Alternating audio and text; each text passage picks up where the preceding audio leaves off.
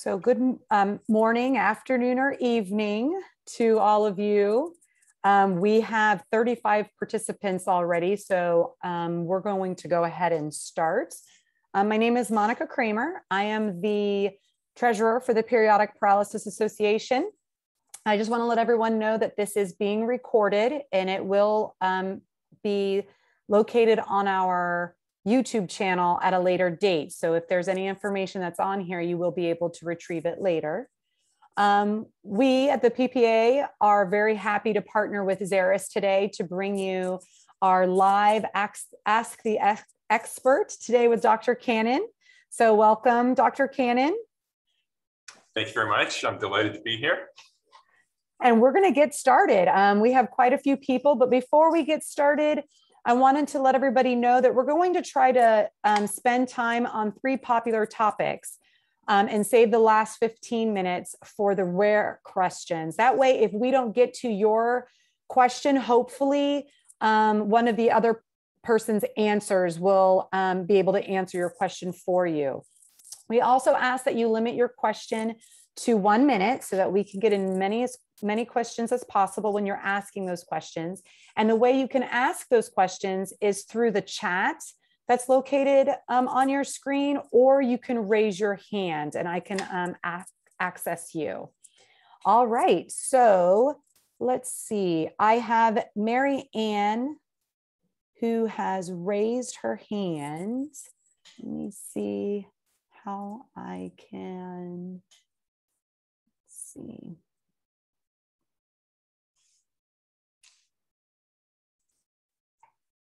Whoops.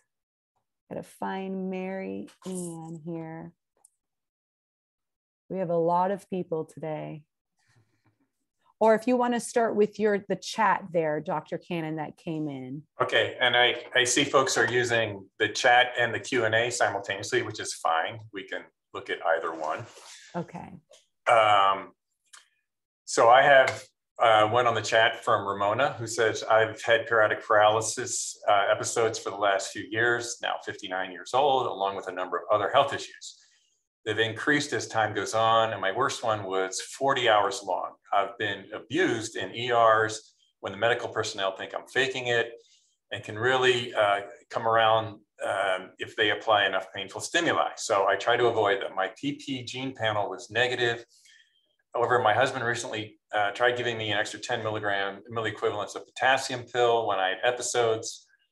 Been on prescription potassium previously, um, and it resolved the episodes. My neurologist is happy to prescribe potassium and take as needed, thankfully. In a nutshell, is it possible to have hypokalemic periodic paralysis with a negative PP gene panel? So the short answer is yes. Um, so currently, probably about 80% of individuals who have a compelling clinical presentation that is consistent with hypo-PP, that means characteristic episodes of weakness that are recurrent, uh, sometimes in association with low potassium. They do not have myotonia, may run in the family. In about 80% of those cases, the gene panel will come back positive but uh, many of us are convinced there are, there are other causes out there or reasons why the panel has come back negative. So that doesn't absolutely exclude the diagnosis. If you or your healthcare providers are looking for additional uh, objective evidence for periodic paralysis, the uh, exercise test, the CMAP exercise test, is another way uh, to provide objective evidence that your muscles are different from other persons and that you're at risk for periodic paralysis. So that is an outpatient test that neurologists can perform. Um, the sensitivity isn't uh, fantastic. It's around 60 or 70%. But if there's an abnormal result um, that is consistent with periodic paralysis, uh, that's a very strong uh, piece of supporting evidence. So uh, I wish you luck on your journey. You're not alone. A lot of people um, are in this situation where many things are consistent, uh, but the gene test um, doesn't show uh, an abnormality. Uh, we can go, I'll go to Mary's question. Is there a relationship uh, between periodic paralysis and restless leg syndrome. Um, they both affect uh, mobility in different ways, but there is no um, relationship. Um, so um, one might have both conditions. Uh, sometimes lightning strikes twice, um, but the restless leg syndrome is um, uh, caused by other problems not related to periodic paralysis. Uh, hi, uh, this is from uh, Sian. I live in uh, Australia and I'm clinically diagnosed hyperkalemic periodic paralysis. I want to know if there's any way I'm able to participate in the research you're doing uh, from here as there's really nothing happening in terms of the research that I can be a part of. Well, Sean, thanks for uh, volunteering. Um, one of the ways that um, everybody can be involved that really helps me as someone who's spent 30 years of my career investigating periodic paralysis is to hear your stories. And that's why I really love going to the PPA meetings or having events like this, uh, where I can hear firsthand because um, that's the best data. It's, it's far better than reading um, the summary synopsis, even in a medical textbook or article. We all try to do our best job of accurately reporting uh, what we learn from uh, affected individuals. But sometimes in an effort to sort of lump things together and create a consistent description, the story gets changed a little bit. So first of all, it helps our research efforts uh, to hear how this uh, affects you and learning about your triggers and, and what the course over your life has been. Um, for some individuals in whom a specific uh, genetic uh, anomaly has been identified. Um, in certain cases, we're able to work through those in the laboratory. It's very low throughput. Uh, you'll hear a little bit about that at the PPA meeting uh, next week. Um, it takes about three months of uh, continuous effort by uh, a, a scientist to functionally study the consequences of a particular mutation. But um, I'm delighted to stay connected with, to this community and to the extent possible, we're happy to involve all of you in any, of our research uh, activities. Uh, thank you so much. I have a son with similar episodes. Oh, Ramona's getting back to us. Okay. Um, I see just the beginning of the name. It's been cut off, but hello, Dr. Cannon. Hello, everyone else. I'm from Hamburg, Germany, uh, 70 years old. I have periodic paralysis since I was born. How these paralyses are classified is still not very clear. I received my first diagnosis in 1998, hyper PP. Almost all the symptoms I can describe uh, certainly fit with this. Number one, there are predominantly short attacks of paralysis. Uh, and then there are single muscle groups, uh, which were strongly stressed at one moment during paralysis. Secondly, during paralysis attacks, there's a significantly increased level of blood potassium, up to 4.5 to uh, 4.5 to 7.5 millimoles per liter. That's definitely high. Uh, oral potassium intake practically always triggers a tendency to paralysis. Uh, the occurrence of paralysis can always be prevented or interrupted uh, by movement of all muscles. Slight uh, light workout breaks the best. Um, long-lasting paralysis and tending, uh, tendencies to paralysis occur in case of carbohydrate rich diet. This all points to hyper PP as far as I can see. Um, so I certainly agree. A lot of those features are uh, uh, typical for hyperkalemic periodic paralysis. In fact, that's one of the clearest stories I've recently heard. So um, without knowing specifics of results of gene testing, I would suggest that you manage this. Um, as hyperkalemic periodic paralysis. Um, the one thing um, that was a little atypical in your case was the very last point that the carbohydrate rich meals are a problem for you. Uh, most people with hyperkalemic periodic paralysis find just the opposite, that fasting is a problem or potassium rich foods would be a problem. But that carbohydrate rich meals or taking a snack, eating a candy bar can be helpful at the if you feel the onset of an attack that's about to happen. That's because um, sugars and carbohydrates, um, when they enter the bloodstream, uh, they promote uptake of sugar and potassium into cells, the liver and muscle, And this helps reduce the potassium, which is helpful for individuals with hyper PP, but obviously is contraindicated in hypokalemic periodic paralysis. So this illustrates the importance of having a clear diagnosis.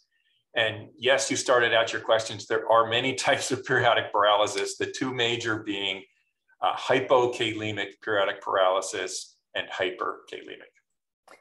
Um, I think the second part, she did include her genetic tests. Okay. Or uh, Fullerton Lab T704M. Yeah. Okay. So you have uh, threonine 704 methionine. This is one of the uh, most prevalent uh, missense mutations that's been recognized in hyperkalemic periodic paralysis. It's been studied extensively in our lab and others, Frank Lehmann-Horn in Germany and his colleagues, for example, and uh, Karin Jurkat-Rott. And there's no question that this is um, a pathogenic variant. So it alters the function of the channel. It allows uh, too much sodium current. It puts the muscle fiber at risk of excessive depolarization, which causes the episodes of weakness but also um, for myotonia. So I didn't see in your particular story, but um, many patients with hyperkalemic periodic paralysis will also have episodes of involuntary after contraction and muscle stiffness. This fluctuates over time and with level of physical activity. Uh, but in many individuals, the myotonia becomes more pronounced just before an attack of weakness. Uh, so if you're experiencing all of that, that's entirely consistent um, with uh, your diagnosis and this particular pathogenic variant. Okay, I'll move on to uh, Julie's question. Uh, do you have any insight about the effects on uh, hormones in periodic paralysis, specifically during the puberty years and also circadian rhythms and seasonal changes I have two teenage boys with periodic paralysis, and both have had major issues during the years uh, 11 to 13. My current 13 year old uh, is currently waking up in an episode every day, and it lasts until about uh, 10 p.m. when he finally gets full strength, uh, just to wake up in an episode again the next day. Uh, this is the third year of this. In previous years and during the summer, he would have less severe episodes, which resolved uh, with Effer-K uh, but it doesn't help when he wakes up paralyzed. The same thing happened um, uh, with my now 16 year old, but he's been doing much better in the years since um, growth slowed. So, terrific questions, a lot of information there. Um, this um, story is consistent with hypokalemic periodic paralysis in terms of the fact that uh, there's improvement with potassium and the fact that the first severe episodes were around the time of puberty. That's one of the differences that's often seen between hypokalemic periodic paralysis, where the attacks tend to come a little later in life around puberty, as contrasted with hyperkalemic periodic paralysis, where in young childhood, uh, some of the first attacks uh, can be recognized. There are a lot of interesting endocrine connections. So puberty is one of them, as you mentioned. Another is gender. So women with hypokalemic periodic paralysis, especially due to missense mutations of the calcium channel, so the very commonly occurring R528 mutation. In many cases, the women who inherit this trait in the family have very mild episodes of uh, temporary, transient weakness. But unfortunately, they may still develop the late onset permanent weakness in their 30s and 40s. So they're still impacted by the disorder, but they don't have as severe um, um, episodic attacks. Interestingly, we've made genetically engineered mouse models of that type of periodic paralysis, the calcium channel R528H. And the female mice do not have as severe attacks as the male mice. So clearly there are many, many hormonal issues. There are changes in the pattern with menses, with menopause, with pregnancy. So yes, there's a lot of uh, connections there, um, but um, it's still at a stage where we're trying to connect the dots and understand exactly why. And what would be fantastic if we could get a better understanding of mechanism here is to use this to guide uh, future interventions. So, you know, gee, isn't it wonderful that many women are not bothered by severe episodic attacks? If, if we could understand why and, and then use that to help men, that would be, that would be terrific. Um, so it's a very robust observation. And I hope your two boys, um, things settle down for them um, as they get older. Um, but the episodes in the morning, in particular, very classic uh, for hypo-PP. I should give others a, a chance with their questions. Uh, so I think this might be Sean again, but I'll see. Uh, I guess it's responding to my answer. Okay, is there a way I can video chat because I can't attend the conference? I have no known gene mutations, uh, and he's had whole genome sequencing. So Monica, you can correct me, but I think in some of the panel discussions on Sunday morning, there'll be a chance for remote questions.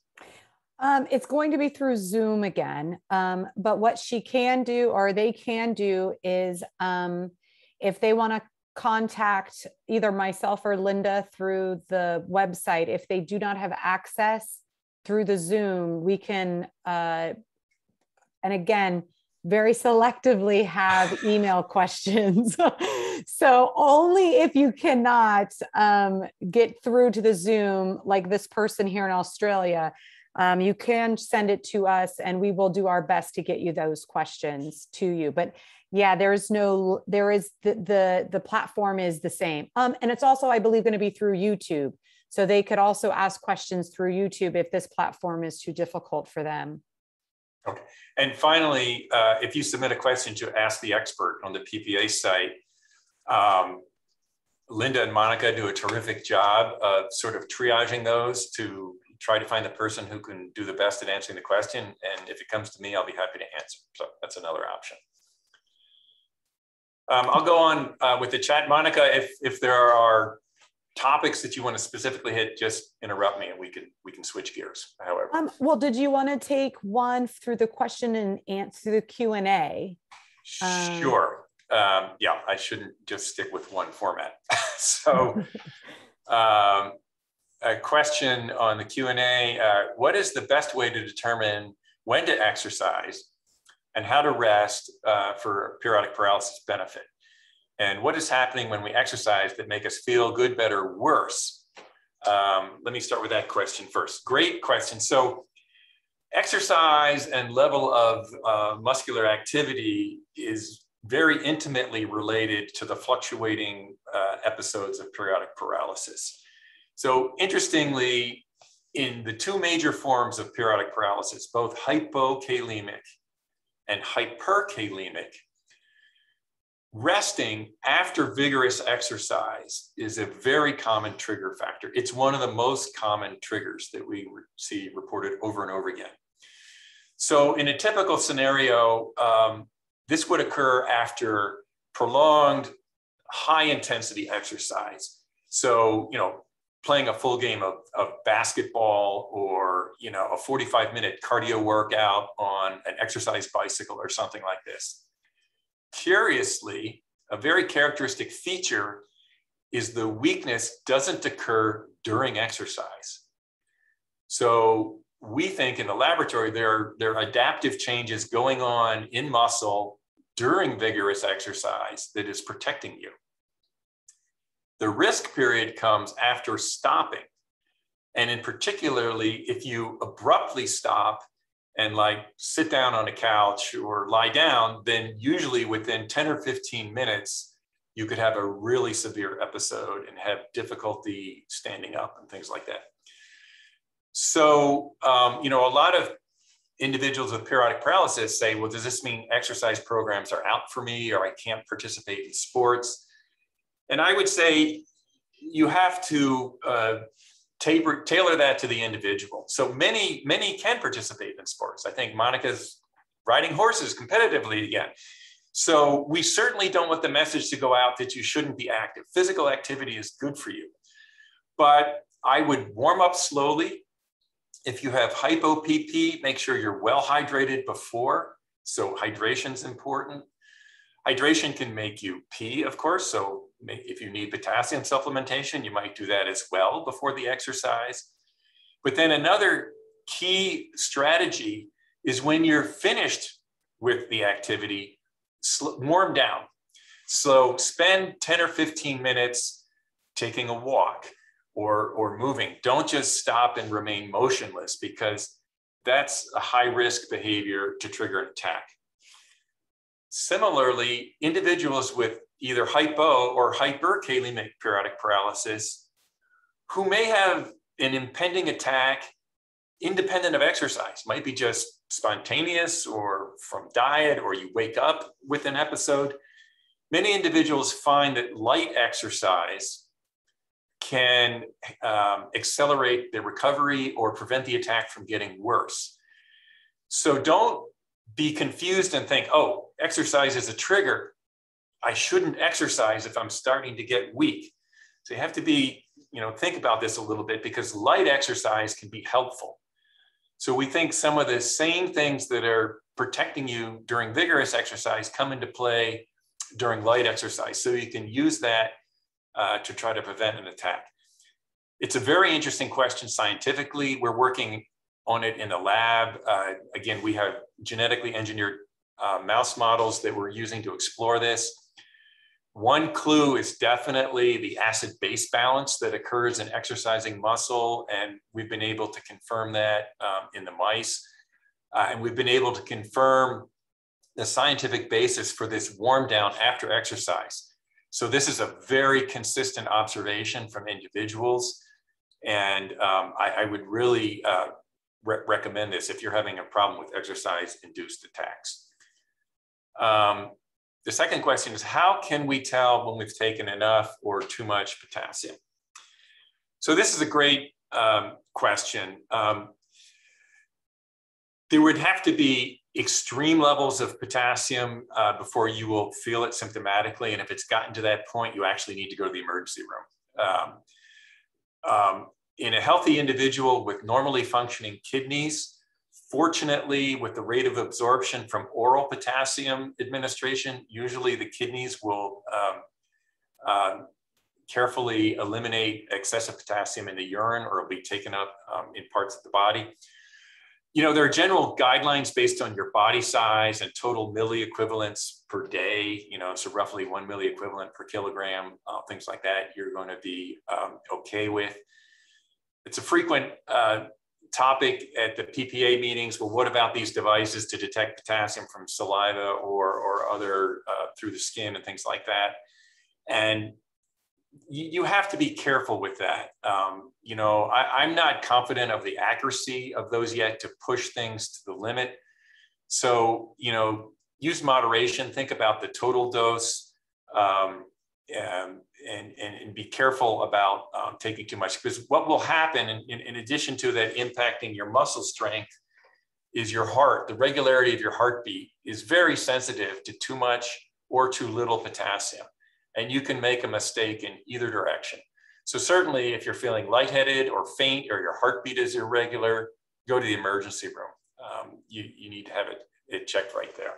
Um, but you can't you can't safely you know, dose yourself in, in, in, until you, you're, you're feeling a potassium effect other than on a slow time course of many minutes to a half an hour and so forth. I'm trying to minimize uh, the effect of an attack of weakness or something like that. And um, so be careful. Um, you know, potassium can be relatively safe, um, uh, but but people can fall into a trap of escalating doses, and and you just don't want to harm yourself. So I'm seeing some questions with people who do not have any confirmed genetic diagnosis.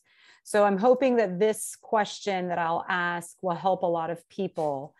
Um, so when we are clinically diagnosed, not genetically diagnosed, um, I, I, believe we covered some. You covered some of this in one of the docu series episodes. Um, it appears that a lot of people are usually diagnosed clinically with hypo.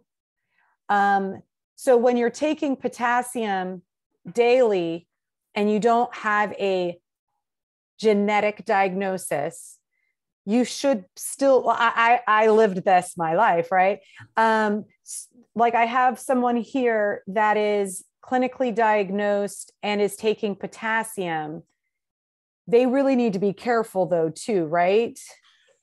Yes so um, these are all great questions. Um, so let me start by reminding everyone that in hypokalemic periodic paralysis uh, even in the setting of an established, uh, you know, absolutely classic gene defect, your body does not have a problem holding on potassium or, to, or losing potassium in the urine. You can have your episodes of weakness may be associated with an inappropriate shift of potassium into the muscle, inside the muscle cell, but your total body potassium is normal.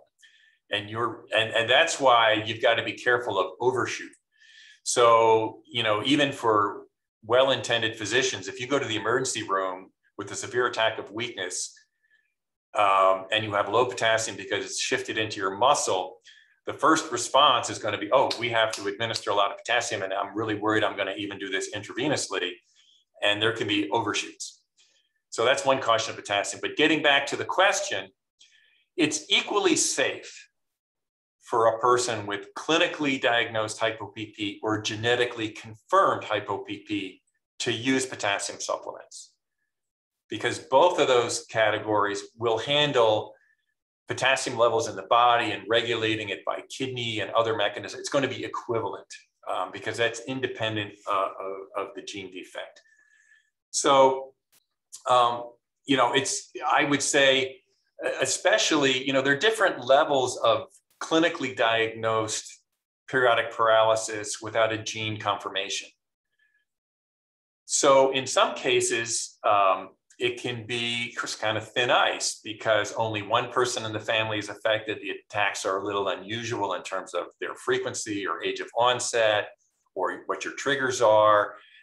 And, and so it might be, you know, this might be periodic. And, and there are other clinically diagnosed situations where you know, five of my relatives have this. It's an autosomal dominant pattern. We have absolutely classic attacks.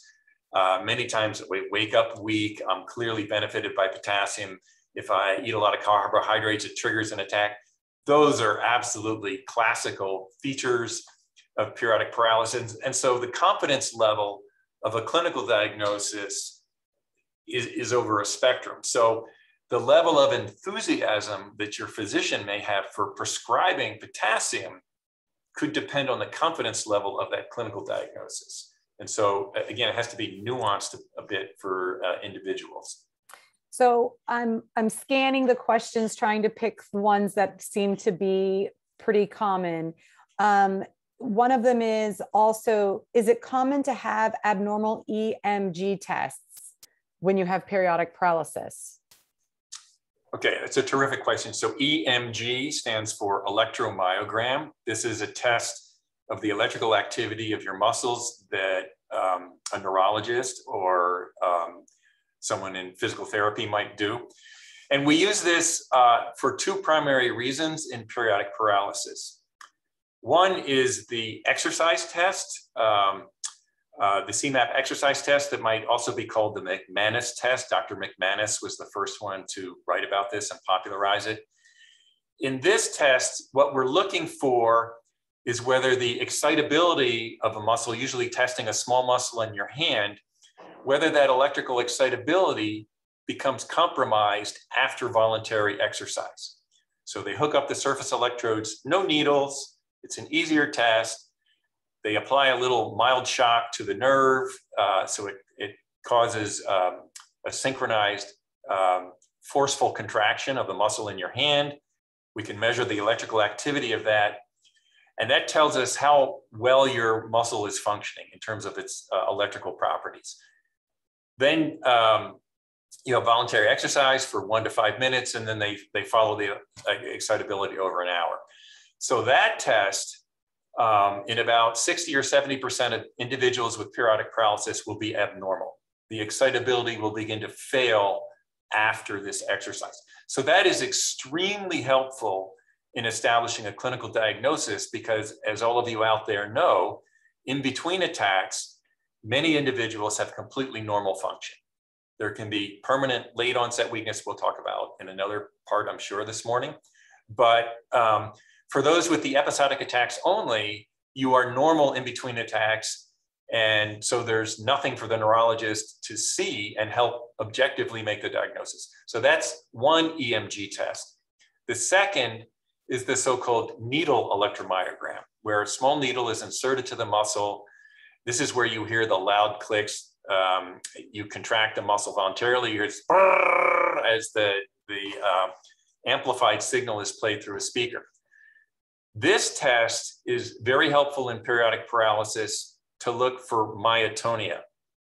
So myotonia is the term clinicians use for the involuntary after contraction of muscle because muscle is electrically irritable or too excitable.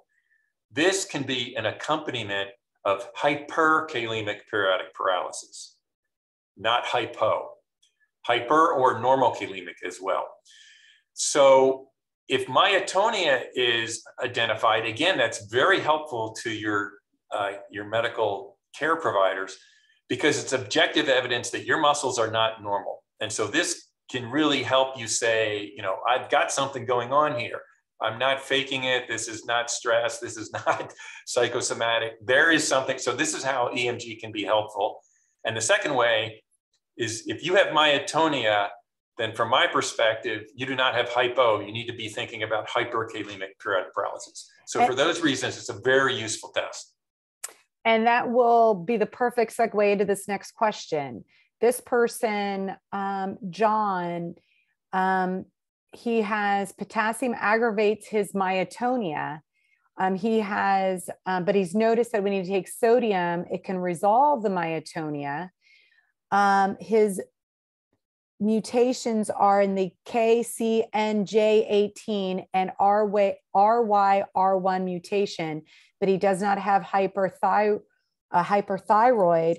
But high, carb- high carbohydrate meals cause weakness, but no myotonia. Um, and then also, potassium helps with heat intolerance and weakness, but always causes myotonia unless taken with salt. So by and and there's more descriptive details in here but that kind of sounds like what you just described the myotonia and the potassium aggravating it's more likely this person may have hyper. Yeah. Uh, so there's a lot to unpack here. Um, uh, and so the gene results that were mentioned are actually inconsistent with potassium aggravated myotonia and not related to myotonia. Um, so potassium aggravated myotonia uh, is actually refers to a sodium channel mutation in individuals who have myotonia and actually do not have episodes of weakness. Um, and um, but it's the same channel that's affected in hyper PP and paramyotonia congenita. So if you have myotonic stiffness, either symptomatically or by EMG, and you have episodes of weakness, you may have paramyotonia congenita, or you may have hyperkalemic periodic paralysis. Um, but potassium aggravated myotonia would be the wrong term to use. I know there are a lot of terms out there, and and and people with paramyotonia congenita can have their potassium uh, can have their myotonia aggravated by potassium. I think Monica can tell you about that. so, um, so I know the terms seem to make sense when you put them together, but potassium aggravated myotonia was a very special term used to describe a special class of sodium channel mutation. So interestingly, you measured, you mentioned um, the gene test panel came back with variants in KCNJ18 and the ryanodine receptor. So KCNJ18 is a possible unusual association with thyrotoxic periodic paralysis. Um, so it'd be important to know that your thyroid status is normal um, and it's an elevated hyperactive thyroid that can put you at risk for a form of periodic paralysis that looks a lot like hypokalemic periodic paralysis. But just to be clear, The thyrotoxic periodic paralysis does not have myotonia. They did mention that they don't have hyperthyroid. Okay, yeah, which is which is great. So that's where the KCNJ18 uh, comes from. The RYR1, that's the ryanodine receptor. This is a very important part of skeletal muscle and heart and, and actually other tissues. The ryanodine receptor releases calcium inside cells. So things that you need to do, like contraction of your muscle or beating of your heart, or things a lot of other cells to do, um, a ryanodine receptor is important for that. The ryanodine receptor uh, is a huge protein. It has a huge gene. It just increases the likelihood of these variants cropping up there. And we haven't talked about variants of unknown significance and things like that, which is a big part of gene testing.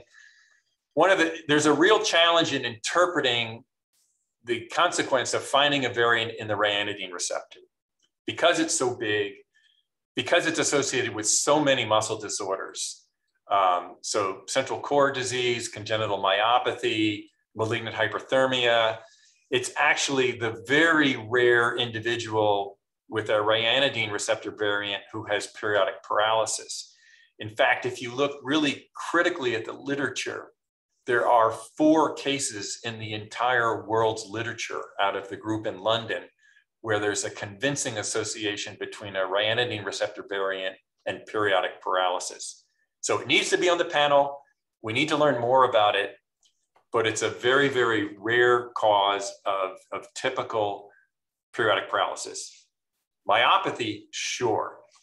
Possible fluctuating weakness, sure, but not a classical periodic paralysis phenotype uh, with a ryanodine receptor feature.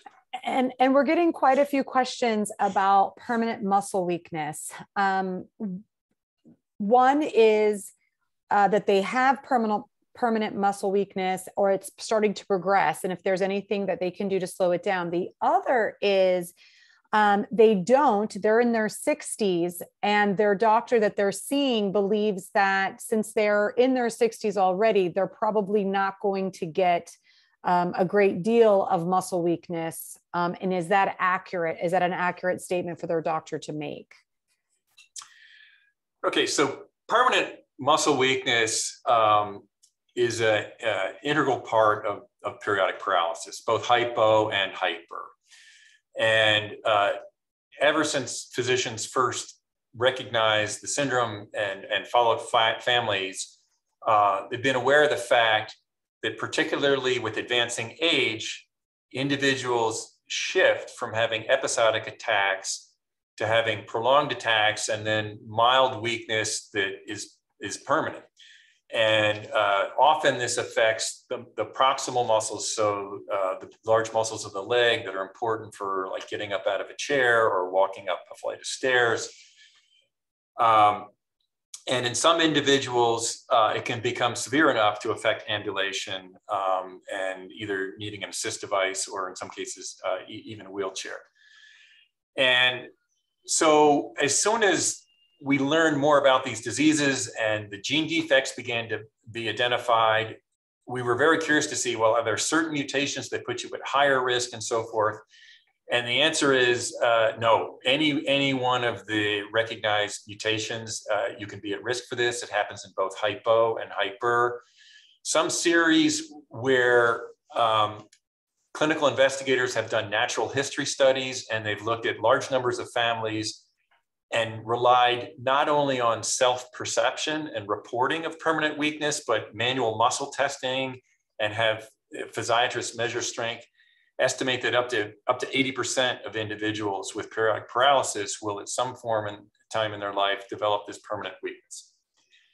So you need to also be aware that a a feature of periodic paralysis is instead of brief attacks lasting a couple of hours or a day or more, many individuals can sort of be in a slump where for a couple of weeks or a month, their muscle performance is not what it previously had been. And fortunately, that can be reversible. It can be reversible um, by taking better care of yourself, diet. Sometimes um, going on a carbonic anhydrase inhibitor can pull someone out of that. So please work with your physician and understand that even if you've had a prolonged problem with, with impaired muscle function, it might not necessarily be permanent weakness. And that's very important uh, to explore. But permanent weakness is another part of this disease. There are anatomic changes that happen in the fibers that you can see on biopsy. A, a really um, perplexing uh, feature of this disease is we have not been able to make clear correlations between who is at risk of permanent weakness in terms of frequency of the transient attacks or severity of the transient attacks or gender or specific mutation. It's been very frustrating that we haven't been able to pull apart clear correlations so that we would know how to advise into people to say, oh, I'm sorry, but this is one of the cases where we know it's going to be a problem, or hey, don't worry, you're, you're going to be in a better risk category. It really isn't clear yet. What I, what I would say and what makes good sense is take care of yourself. Try to minimize the number of attacks you have, the frequency of attacks. There are a lot of big changes, not only in the electrical activity, but uh, things moving in and out of muscle, water shifts, swelling, there's a lot of wear and tear on the muscle that occurs with these episodes. And just uh, it just makes sense to try to um, you know preserve muscle function and, and, take care of yourself. So right now, um, the best advice we have is is things to minimize uh, the episodic attacks. Um, try to remain mobile. Immobility is a big problem for muscle function. So especially with people in advanced age, do not you know throw in the towel and say you know forget it i'm just going to stay on the couch. That's not good for you either. You need to be safe. Work with the occupational or physical therapist to see if you need assist devices to, uh, to be safe or family members. Make sure you don't have you know throw rugs or things you can trip over and and issues uh, around your home. Um, so that's a very long-winded answer but permanent muscle weakness um, is a frustrating issue um, that um, uh, again, just doing things that make sense is, is where we can take it uh, for the time being. This is one of the motivators. We'll get into this in the conference, maybe not too much time left this morning about gene therapies and things like that, because really that might be the greatest opportunity uh, to try to make an impact on the on the permanent weakness, which which I know weighs heavily on everyone's mind. And I did share some links um, in the chat for where you can go to look at your VUS, um, what the current information is. And then also for people who are looking for genetic testing um, here in the United States, that link um, is for American citizens. Uh, it's at no cost. Um, but one of the questions that we see a lot of is, what do they do if they can't find a physician that is willing to even sign them up for this I mean, it sounds crazy to me. It's at no cost, but people are still having problems getting physicians to fill up this paperwork for them. Is there any other avenues for them to get genetic testing? Yeah, so um, I will have to acknowledge that I have not personally tried to, you know, see what Invitae, the company who performs the test, will do if there's uh, a patient initiated. I think part of the issue is for, you know, uh, the generous support by Xeris to cover the cost.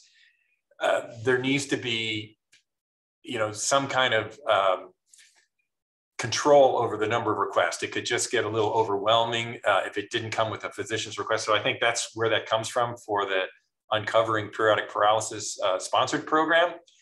Um, you could you could test with a check with the company though. I think if you're willing to pay out of pocket, they, they may offer it other individuals um, have, uh, there's been a lot of uh, noise out there in social media, and some of it has come through the PPA website. What about, uh, you know, Ancestry or 23andMe and other gene panels? Because they're now releasing, uh, you know, SNPs and, and variants and things like that. So you can be a little bit of a detective uh, and, and, look for that. But uh, I would say it's better to go uh, you know, with a CLIA approved, uh, you know, American Board of Clinical Pathology accredited laboratory rather than relying on those other events.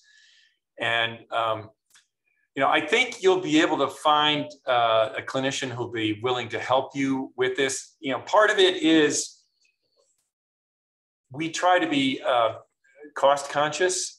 I mean, it's a big challenge, especially in the United States. There's only so much out there in terms of uh, entire healthcare system and what can we can afford. And, and physicians, you know, they don't want to withhold treatment or diagnostic opportunities for individuals, but they're just trying to use their best judgment to contain cost. And that's where this is usually coming from. Yes. And, and I think your other answer um, answers Sarah's question about attacks. Um, basically, they were their last question is Does the palpitations have anything to do with the PP condition, periodic paralysis condition? When you're in an attack, um, can you have? I'm sorry, I meant, did you say complications or palpitations? I, palpitations. I, yeah. So this is a actually a really wonderful question. Um, so first of all, um, because of the shifts in potassium in and out of muscle and the changes in the blood levels of potassium, there can be secondary changes in the heart. And so people with a normal heart, even though the, the periodic paralysis genes except for Anderson-Tawil syndrome, but in hyper and hypokalemic periodic paralysis, those genes are not expressed in the heart. And so you, you do not have an intrinsic risk of arrhythmia. You can have a secondary problem because the electrolytes get so far aligned. So some individuals may experience uh, palpitations or change in heart rate uh, with an episode. If that is persistent or you feel lightheaded, that's when you need to go to the emergency room. But it also brings up a good point is you may have uh, members in your family who have episodic weakness that's consistent with periodic paralysis. Um, and maybe you have unexplained fainting spells or skipped heartbeats. Um, and maybe your family tends to be short stature, or you have curved fingers, or um, low set ears, or wide set eyes. This is Anderson Tawil syndrome. And um, you need to have this evaluated, uh, especially by a cardiologist as well as a neurologist. So if you have a combination of self-perceived irregular heartbeat and periodic paralysis, make sure someone has addressed the question of whether this might be Anderson-Tawil syndrome. Um, and Dr. Tawil is going to be at the PPA meeting next week, so there's opportunity for follow-up on that. Yes, he'll be online presenting and available for questions. Um, so someone, uh, John wrote in about why does salt help myotonia symptoms? Because it works for him as well as the other person that mentioned that. Yeah, so um, uh, the short answer is uh, it, it's unknown, but uh, several people have reported this. And I just want um, all the viewers out there to be a little bit uh, careful because I've heard two stories now, if I've kept track, where salt, like potato chips, table salt, is helping individuals with myotonia. I think that's how it was described. Because on the other side, with hypokalemic periodic paralysis, salt, sodium, table salt, high salt foods can be a problem. So be careful about there about supplementing um, with salt to treat any type of periodic paralysis and everything in between. Uh, so I would never argue with somebody who has, um, you know, found out on their own that something helps them. That's terrific. If it's reasonably safe, if you don't have high blood pressure, if you're not taking crazy amounts of salt, that's fine and that's good. And, you know, share it with others. Um, but I will say there's good uh, scientific data and it happens in our in our mouse models. In our mouse models if i make the salt the sodium too high they'll get an attack of paralysis. So, and and patients have recorded this as well. So be careful with the table salt story. Yes. I'm, I'm one that i have to I'm, for some reason when i go into an episode i crave salt and and sugar um, we have some questions coming in about the RYR1 gene mutation. Um, can you had already touched base on that a little bit? Um, and it seems to be that some of these people are diagnosed as hypo or uh, clinically diagnosed as hypo or and hyper. Um, is are these clinical diagnosis? Can they both be correct? If it's Yeah, so great question. So in both the situation of those rare RYR1 cases and in Anderson-Tawil syndrome, actually, the relationship with potassium is a little murky. It's not as clear as hypo and hyper. And there's a whole other situation, which is normokalemic periodic paralysis, which I'll just put the quick plug out, which I feel is a variant of hyper. But um, for these other gene defects that can be associated with fluctuating weakness, sometimes it's not directly in relation to a change in the potassium level and can happen independent of the potassium level or in inconsistent ways.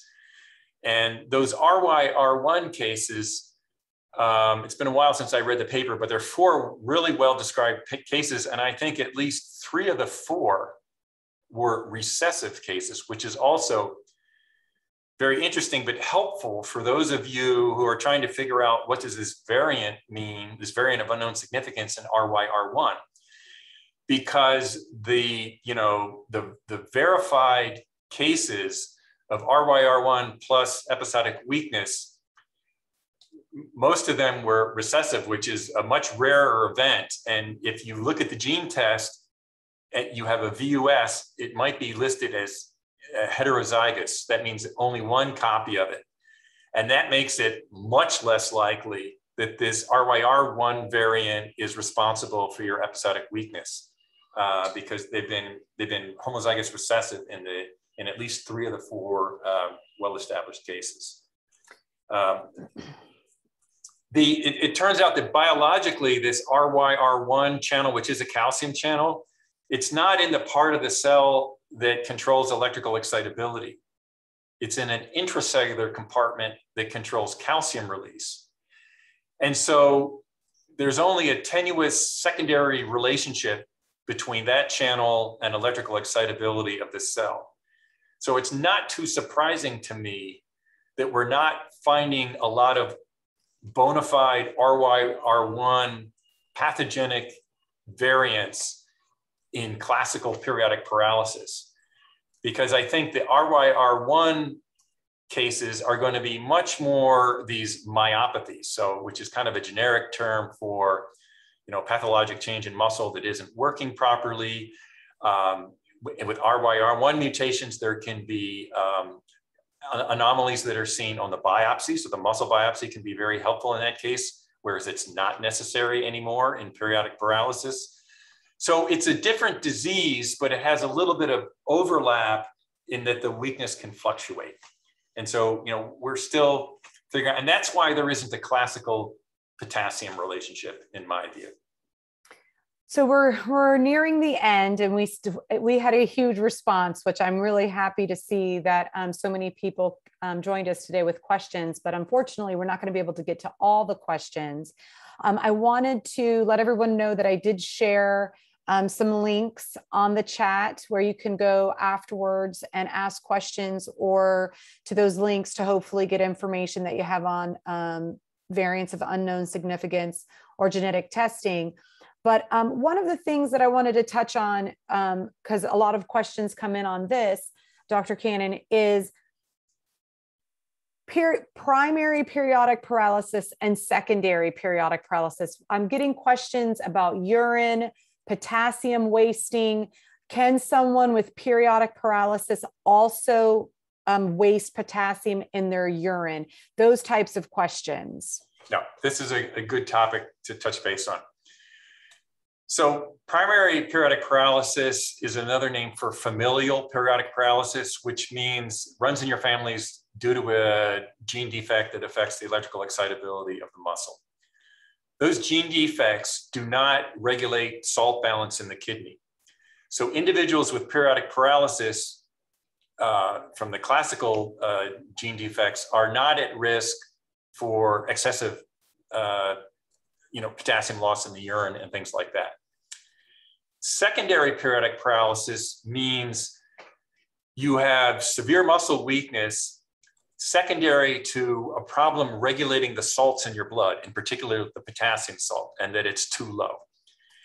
And this can come from a primary disease of the kidney, some inherited diseases of the kidney, like uh, distal renal tubular acidosis, or autoimmune diseases like lupus or Sjogren's syndrome, or intoxication with diuretics or licorice intoxication. All of these things impact the kidney, or you can lose it through the GI tract. Some people who have bypass surgery in the GI tract lose a lot of potassium.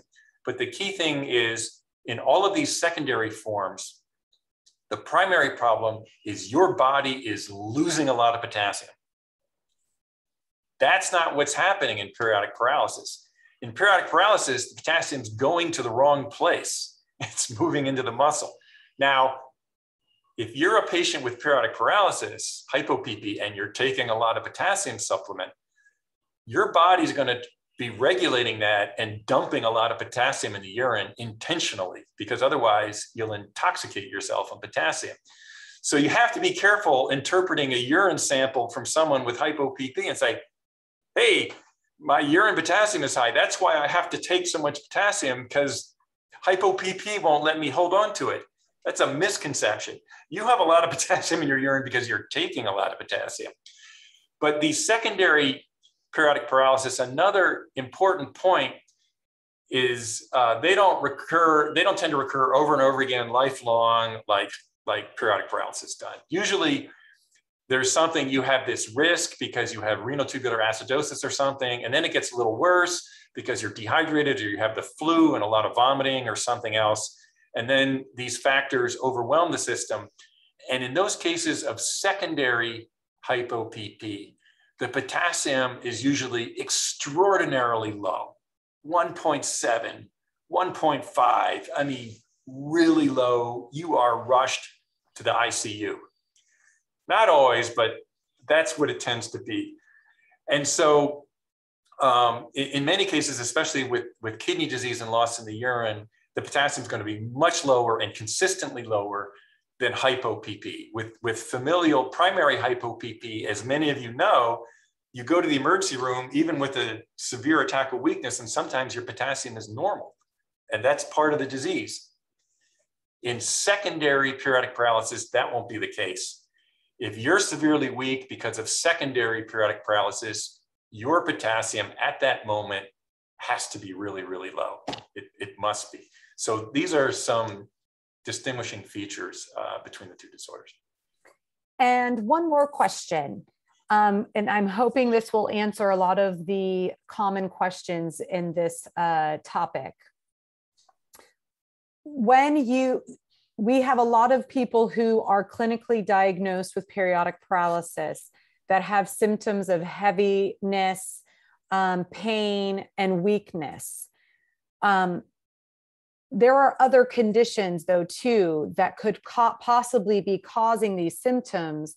Um, my fear is always um, if we're focusing on one specific possible diagnosis, we may miss what could be the real cause right and if you don't have the correct treatment so it's important to for these people um, to understand right that not all of these symptoms of excessive weakness feeling of heaviness or pain um, is going to be periodic paralysis is that correct that's correct and so um, as all of us know weakness or fatigue and muscle pain are relatively common symptoms. Almost everybody at one point in their life experiences that. And so you have the challenge of very common set of symptom cluster and a very, very rare disease, periodic paralysis. Remember, there are probably three or 4,000 individuals in the entire United States who have periodic paralysis, you know, something on the order of one per 100,000. So you know, just statistically, that's a real challenge in how do you reconcile very common, very common symptoms with one very rare cause. And so you need to have, uh, you need to be careful, you need to be open-minded. And I would encourage this in anyone for whom the clinical diagnosis isn't rock solid or there's not genetic confirmation, is that, you know, it's fine to be exploring the possibility of periodic paralysis and using some of those recommendations to try to improve your situation, but don't end your journey. keep thinking, keep asking, um, and stay open minded. And, um, you know, I'll just put a little editorial out there. You know, I, I started training in medicine in the 80s, and it, it was fine. We could put on the insurance form, you know, weakness, unknown, unknown cause. Nowadays, where everything has to have an ICD-9 now ICD-10 code, and you know, it has to be linked to reimbursement and things like that. There's a lot of pressure for your healthcare provider to list a specific diagnosis. And I think that's a shame because it's it's it's prevented people from remaining open-minded and thinking about diagnosis. So you can do that personally and encourage your healthcare team to always keep looking and asking and, and thinking. And, and fortunately, in periodic paralysis, there are a lot of uh, very effective approaches that can be taken that don't have high risk associated. Lifestyle changes, dietary changes, uh, simple supplements. And, and so fortunately, you can try those and, and, and see if you benefit from that um, without putting yourself at undue risk, but stay open-minded. Well, thank you so much for coming today and, and, and uh, it was quick, right? That went so fast. We were trying so hard to get to so many questions. We had over 60 questions. Um, and I did, I am sending out to everyone that if you were not if you were not able to get your question answered today, to make sure to sign up for the conference for next weekend because after you speak and after our other speakers speak, they will have the opportunity to ask questions on Saturday. But then on Sunday, there's two hours of Q&A time for Dr. Cannon and the other doctors on the panel. So hopefully um, you will get your uh, answers then. Um, everybody's saying thank you. And again, Dr. Cannon, thank you so much for today and for everything else that you do for us um, in the PP community. Thanks. Thanks for sharing your stories. I appreciate it. Thank you. Bye-bye.